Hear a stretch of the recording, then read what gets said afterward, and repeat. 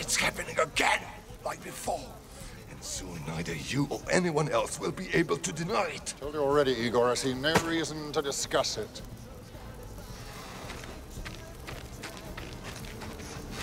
Must. Ten points from Hufflepuff, Fawcett. And the same for Ravenclaw, Stebbins. It's a sign, Severus. You know it is. Sorry, I don't know what you're talking about. Really? Then perhaps you wouldn't mind rolling up your sleeve, huh? you don't fool me, Severus. You are scared. Admit it. I have nothing to be scared of, Igor. Can you say the same?